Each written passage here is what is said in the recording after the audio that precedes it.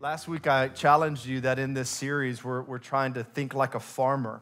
So, again, I want to ask you to put your farmer's hats on and just uh, for, for a quick review, some of what we looked at last week is we looked at like three must haves for harvest.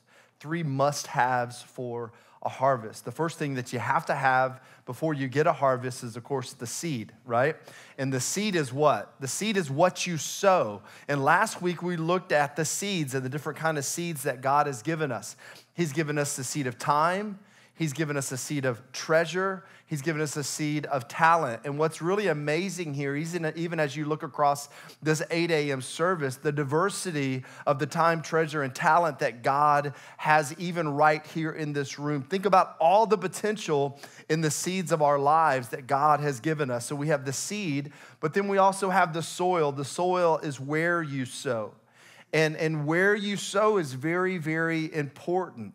Uh, if you want to see a harvest uh, in an area in your life, you've got to sow into that area of your life. You can't sow into one area and expect to harvest in another. It, the soil matters. So the soil is where you sow the seed of time, of treasure, of talent. And then we ended with the act of actually sowing. Um, the sowing is the act of giving. The sowing is like when you actually do it. Now, this is where some of us are hung up we know about the seed and we know about the soil, but we just haven't done a whole lot of sowing.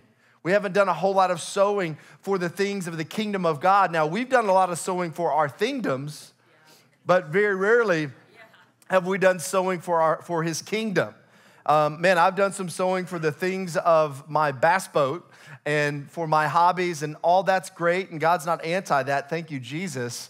Uh, but however, uh, he, he does expect and does invite me in to sowing first into his kingdom. What we're going to see today is that order actually matters to God. So, as we're talking about soil, I will just ask you a question just by way of readying our hearts. What are we going to do? We're going to tenderize our hearts for the Word of God today. Where are you currently sowing your time, your treasure, in your talent because the truth is you're sowing it somewhere. You're sowing your time somewhere, your treasure and your talent. Where are you sowing it? My next follow up question is, is where you're sowing your time, treasure, and talent. What will happen with it when you breathe your last breath? Like, where would, your, where would your investment, your primary investment, your most important investment, your first investment, where will it be? So every seed needs sowing, and every seed needs soil. So I have to sow it before I see it. I like that. I have to sow it before I'll see it. Can you say with that with me on the count of three? Maybe it'll come on the screen behind us. I have to sow it before I'll see it. One more time. I have to sow it before I see it. Hey, as a church, we have a history of sowing. Our church now is 10 years old. And I, my family and I had the honor of being the first people to actually sow into this ministry. We had the chance to uh, ask God, God, what are you up to and how can we be involved? He invited us to plant a church up here in, in North Idaho. We moved here from the Dallas Fort Worth area. And uh, I stepped out in faith. I, I stepped away from a ministry that was very, very generous to us. We had been there for 16 years. Um, I was the executive pastor there, and uh, we had financial security. We had a great, great future there. But I don't know if you've ever experienced this, but when God calls you, it's a yes or a no. And, and to say no is to be disobedient. And so we, of course, said yes. But in, in doing that, it took some faith, it took some sowing, it took some some decisions that on the outside just didn't make a whole lot of sense. As a matter of fact, a lot of my closest friends and maybe some family members were like, Are you sure? Now, are you sure about this? They would, they would ask me, I like that. I, I, like friends that ask, like, hey, are you sure? Are you sure you heard from God? How do you know you heard from God? All those are important questions. But my wife and I, we were sure, we were certain. But just because we were certain doesn't mean that it didn't take faith. It still took faith because I had about four months where I had no income. I had about four months where I had a large mortgage uh, in a house in the Dallas Fort Worth area with crazy property taxes. But we knew God called us. Now, in the process of that, we also knew that this new church, that is now One Place Church, was going to need resource to get it started. And sure enough, uh, it started to need resource and it started to need uh, you know some some structure and some some some legal documents and all the things that you need to begin uh, a church. And so, uh, guess how much money was in the church account back then? Zero, because there wasn't one. It was zero. And so, my wife and I, uh, of course, because this is what God put on our hearts, we, we began to sow seed into that. And then, uh, as we moved out here, um, man, the church then at some point we knew we were going to start Sunday services. So we had to get a trailer and we had to get all the essentials uh, that you need for, for church. And we were doing mobile church for the first three years. But here, here's what I, I want to get at there was seed that had to be sown. And in a time where it made no sense, my wife and I, compelled by God, again, you know, our, our heart has been, man, we get to do this, not that we have to do it that we've been invited into it. I, I, can't believe that God has invited me here into North Idaho to advance his kingdom. That's been our mindset and that's been our heart. But, but it still required a sacrifice. And so my wife and I, in a time that made no sense, gave the largest financial gift we have ever given. Um, to buy the trailer and buy all the church essentials and begin to make the move and get things moving um, up here. And, and in that, uh, man, we saw some harvest. We opened the doors, we started seeing a life change. I'll remember our first baptism, all of the things. Three years later, as the church is growing, uh, we had the opportunity to move in this place. And there was a handful, some of those are here today. There was a handful of us that gave to an initiative called Greater and we sowed into greater. And you know what? There are kids. I want you to think about it. I want you to think about those of you that were here the, the, the seed that you've sown, I promise you, if you look over the rear view mirror of your life, not only has God replenished that seed, He's given you more seed, and there's been a harvest. I can tell you one har- harvest, there's been a harvest of souls. There has been hundreds and hundreds, if not thousands, of people that have given their lives to Jesus because of your seed. There have been students, there have been kids, there have been marriage restored, there's been addictions broken. All of this is because you were willing and you did, and I'm grateful. We're sitting in seats that you sowed seed for. We're, we're sitting in life change and we're sitting in relational connections because of your generosity, because you get the principle of the harvest. You understand seed time in harvest. So um, I have to sow it though before I see it. And so, for those of you sowed to get us in this building, thank you. But look around, now we see it. We see it. We see it here. We see it in the lives that are being changed. We see it in a, a group of little kids that were, you know, one years old and now they're in sixth grade. That's my daughter. Like when we moved here, and now she's started in our One Place Kids, and now she's in our student ministry. It's a mind block, uh, mind blowing. I see it.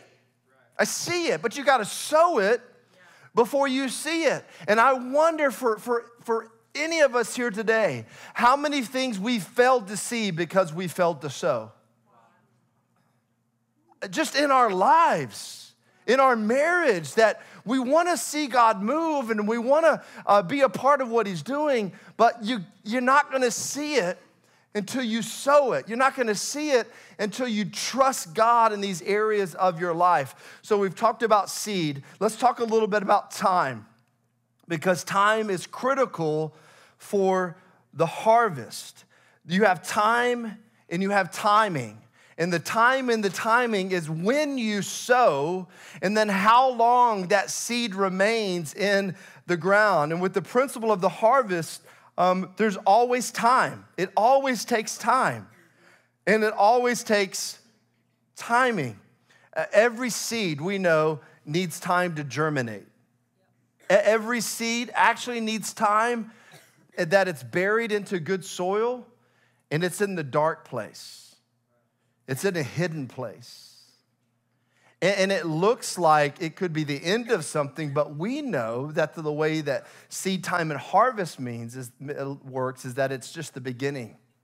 It's just the beginning. So maybe I would just speak that into your life right now. Maybe there was a seed that you've sown. Maybe you're sowing seed into your marriage right now, and you are sowing time, and you're, you're, you're just trying to make extra effort, and, and, and you don't feel like there's a harvest. Listen, it takes time. It takes time. Maybe there's some parents here right now, and, and you know, you have some, some students who uh, they're not they're not living the way that you raised them. They're not walking the ways of God, and you prayed for them and you had them in church when they were little, but it seems like they're walking away. Listen, it takes time. Don't give up on the seed that you have sown. Every seed needs time to, ger- to germinate. Uh, and this runs totally against our, our instant gratification culture. I want it right now.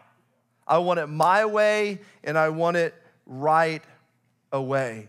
But it's got to stay in the ground for a while. And it's got to actually have time to germinate. There's one particular couple I'm thinking about, uh, and this gentleman shared a little bit of his story with me a few weeks ago, who um, was praying for what gift that they were going to bring to help us begin this process of the Good Land Building Project. And, and he told me that as he prayed, God really challenged him to, to give in a big way.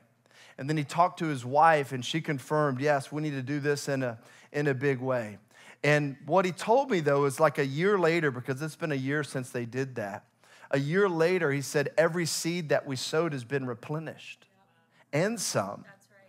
But they wouldn't have seen it if they hadn't have sown it. And, and they probably didn't see it the first day after they gave it.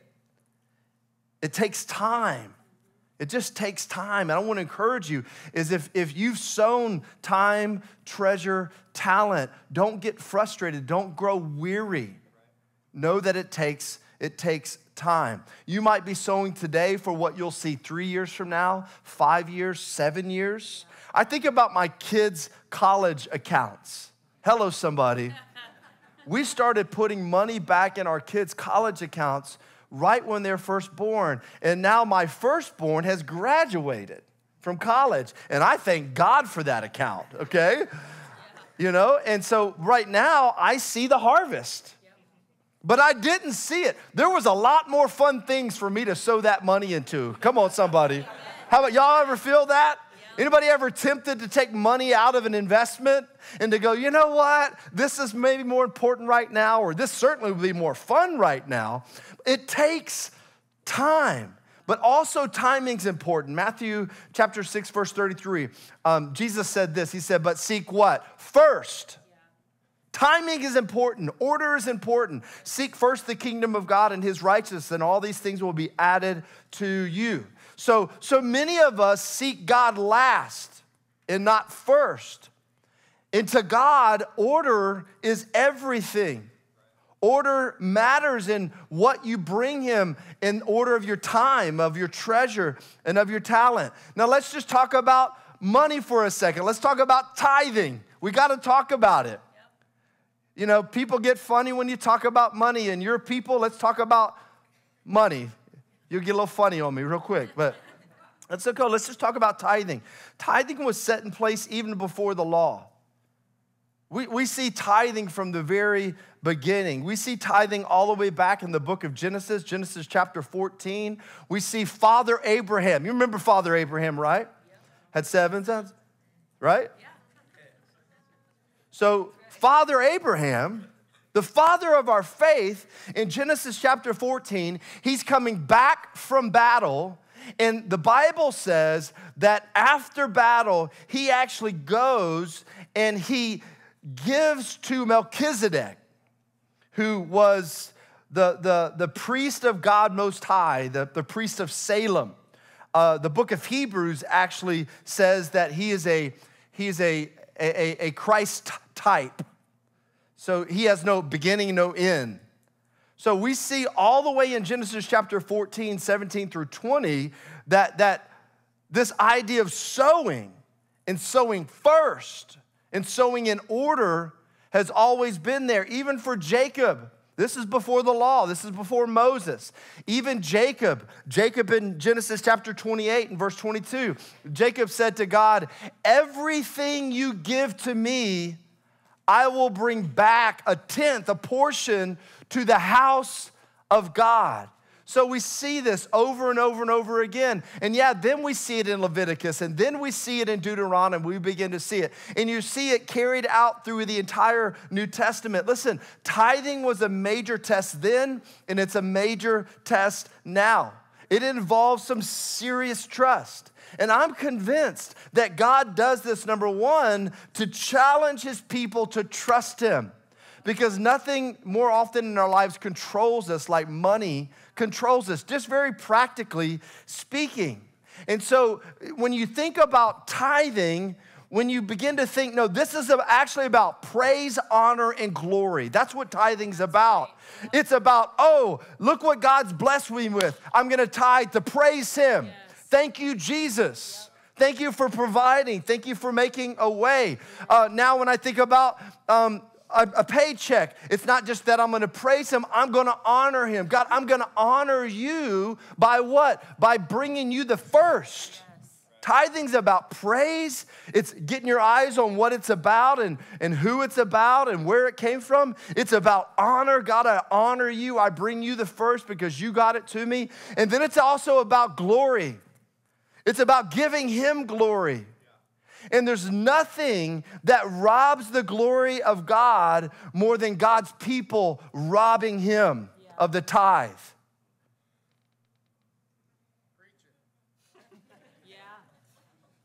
That robs the glory of God because you're taking the glory. You're saying it's mine and look what I've done, and, and, and, and, God doesn't need it. No, no, no. Give him the glory, Amen. give him the praise, Give him the honor because he is worthy. So God asked the first for the first because it requires faith. And by tithing, it's as if you're saying to God, I recognize you first. I'm putting you first in my life. I trust you to take care of the rest of the things, but God, I bring the first to you. Praise, honor, glory. And here's the thing the first portion is the redemptive portion. In other words, when the first portion is given to God, the rest is redeemed and blessed.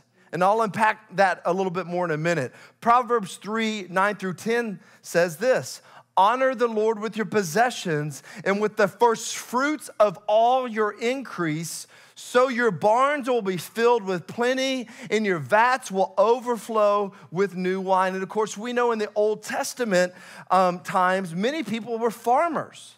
They raised animals, grew crops for their living. And so their increase came from actually their crops and from the, the, the animals that they raised. Today, you might be a banker, you might be a real estate agent, a teacher, a barista, a state trooper, a police officer. You may be in the military, you may be a lawyer, maybe a doctor, you may be in construction, whatever it may be. That's how your increase comes. And so it's still about the first, though. It's still about the first. The first you receive and the first you spend. That's what it's about. It's you recognizing, me recognizing. So the first portion, of your time, the first portion of your treasure, the first portion of your talent. It's the trigger that redeems and blesses the rest. So if you say God is first in your life, but he's last in your finances, he's not really first. If you say God is first in your life, but he's last in your time, he's not really first. If you say he's first in your talents, but he's last, actually last in your talents, no. He's not really first. And so these areas, our time, our treasure, our talents, these seeds that, that God has given us to manage and to stewards are a true litmus test of whether or not He's truly first. So we have the seed, what you sow, the soil where you sow, the sowing, and then the time and the timing when you sow. Um, I like to say it this way payday is test day. Hey, oh. Payday is test day. And I'm just telling you, this is not in a bragging way because it's only by the grace of God. I've not missed, the, I've not failed a test. I've not failed a test from the, from the time my wife and I got married. When we made $12,000 the first year of marriage, we still tithed. Payday is test day. Because you know what? I'm learning and I've learned that God can be trusted. And He can do more than the 90% He says that I've given you freedom to use than I can do with my 100%. He can do so much more with it. So God says, Trust me with the 10, and I will take the 90 further than you can ever take it. And I promise you, there's tithers in this room that would say amen. Any amens out there? Amen. Okay, there's a few of you. Amen. Okay. But here's the thing fear does talk. Fear talks to you and talks to me. And fear says this I don't have enough right now. I'll never have enough pace. If I made double right now, it still would not make financial sense to me to bring God 10%. So we think that the answer to generosity and trusting God in an area in our life is that if He would give us more. God, if you give me more, then I'll trust you. No, no, no, no. The answer is not more. Again, God can do more with your less if you trust Him. But so many of us, we just live with this scarcity mindset. I understand, I didn't grow up a lot with a lot either. And so you have this, this scarcity mindset that you, you have to scrape and claw for everything that you get. And then, man, you're proud that you got it. And, and you live and you're afraid you're going to lose it one day. You think back and you're like, you know what? I was raised in a way that I don't want my kids to ever face. And so you have a scarcity mindset. And as a result, you're holding on with white knuckled grip on your time, your treasure, and your talent. And God says, No, no, no. You let me have freedom in it and watch what I will, will do. You know, you probably did this when your kids were little as well, but maybe sometimes you gave them something and then you asked if you could have what you gave them. You know, maybe you give them some candy or you give them a little treat and you say, Hey, can I have some of that? And what are you doing? In that moment, you're just testing their heart. How many times they looked at you and said, Mine? Yeah, me too. No. They look at you straight up, say no. You're like, hello. Who put that treat in your hand? And it's the same thing as what you do. It's what I do when we hold back from God and God says, hey, like, I'm just gonna test your heart for a minute. Payday's the test day. I'm just gonna test your heart. Do what the scripture says. Trust me with it. And you're like, no. No, I'm not there yet. And this is an area that we need to grow up. Let's talk about the harvest. Let's talk about the harvest. The last part. This is what we want. Woo, the harvest. We all want the harvest, but it takes the, the, the, sowing and the time to get to the harvest. But when I pass the test, the rest is blessed. When I have the seed, I sow it, I let it sit, and I trust God in the timing, Everything else from there is, is blessed. And let's talk about blessing real quickly. There's two types of blessing that I want to talk about. First is God's provision. God's provision. God promises if you live on sound biblical principles, He will bless the rest. Now, that doesn't mean that you can be foolish with the other 90% and think that He covers you. No. God promises you to provide your basic needs if you trust Him with the first. So He promises you, I've seen this in my life, your basic food, shelter, and clothing. Not our basic wants, our basic needs. So, first is the, the protection, the blessing of God's uh, provision. He's gonna provide, but you've gotta trust, you gotta pass the test first. But then also His protection. And his protection actually doesn't mean that you won't lose money on a car. It doesn't mean that you won't take a bath on a house. It doesn't mean that you won't lose money in an investment. But what it does mean is that, that God will bring blessing into your life when you need it to protect you. He will protect you. He will guide you. He will, he will cover you. Listen, this has happened for us in medical bills. I mean, just in the right time. I remember when my son got hit by a car and we had to get a life flight from Spokane. I mean, there was, I'm talking about critical timing with insurance for that flight, that $20,000 flight to be covered. I'm talking time was of an essence, but God protected us. Come on, somebody, and got it covered. He, he's protected us in house uh, sales. He's protected us even when I didn't have a job. I told you guys that I was gonna tell you the story about Willie George, you know, when he came a few weeks ago and why he's so significant. But the short story of it is, is when I resigned from the church that I was a part of, a month had gone by. I get a call from Pastor Willie that one day in November, and he says, Pace, my son, his son, Whit, he said, Whit told me what you're doing. I'm really excited. You're going to do a great job. Tell me about where you're going, what God's up to. And so I began to tell him about what we were going to do out here and what we thought it could look like. And we, let, we got to the end of it. And um, just only as Pastor uh, Willie could, he said, Well, Pace, let me ask you a question. How's your money? I said, What money? I don't have any money, you know, because we stepped out in faith. And uh, I'll never forget, he said, Well, Pace, I'll tell you what I'm going to do. I'm going to write you a check. And he said an amount, which this amount was like, Wow, that covers my bills for a month. And I'm like, Praise, honor, glory. Thank you, Jesus. But here's what he followed up. And he goes, And I'm going to write that same amount for the next 12 months, every month. In one phone call, the largest gift we ever had given financially was covered. Amen. Just like that. And can I tell you, he did that for the next three years in the life of our church. That's why he's a special man for you and for me. Yep. He sowed seed, though, that he's just now seeing harvest. Yeah. He's just now, you are his harvest. You're a part of what He sowed into. Man, I just thank God. And I'm telling you, you are not living life until you start trusting God in this area of your life. God has protected me, God has protected our family. Um, and I know there's many others of you that you could say, yeah, this is true for me. So, this is the way to get beyond worrying about money. If you're like, I wish I could have that kind of life and that mindset, you can. But you get it by giving. You get it by sowing and time. And then the harvest comes.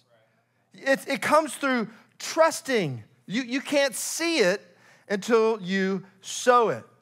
We, we push forward through the Old Testament, and the last prophet, Malachi, chapter 3, verse 10, he says, Bring the whole tithe into the storehouse, that, that there may be food in my house. Test me in this, says the Lord Almighty, and see if I will not throw open the floodgates of heaven and pour out so much blessing that there will not be room enough to store it. So, this was in a time when Jerusalem was rebuilding. Um, they're, they're returning from captivity with Babylon, uh, being in Babylon. And so, God has established then the tithe and is established here today. It just carries right through for God's house he established the tithe for the Levites back then to provide for the Levites and their families. And he provided, he, he asked for the tithe for reverential worship. And I think this last one's the one that we a lot of times forget that giving your time, giving your treasure, giving your talent, that's reverential worship. I mean, that's saying to God, God, I love you and I love you so much that I'm gonna trust you in areas that it's hard for me to trust. So let me ask you the question how are you sowing? Are you sowing? For most of us, this pushes against your comfort. And I just want to challenge you, I want to encourage you. In, in a season as we're coming up, where, man, materialism spikes because of Christmas and we want to have all the feels, I just want to encourage you to take a step of maturity in this area in your life. It's seed, it's time, it's harvest. We say it like this we get to give, we don't give to get. We get to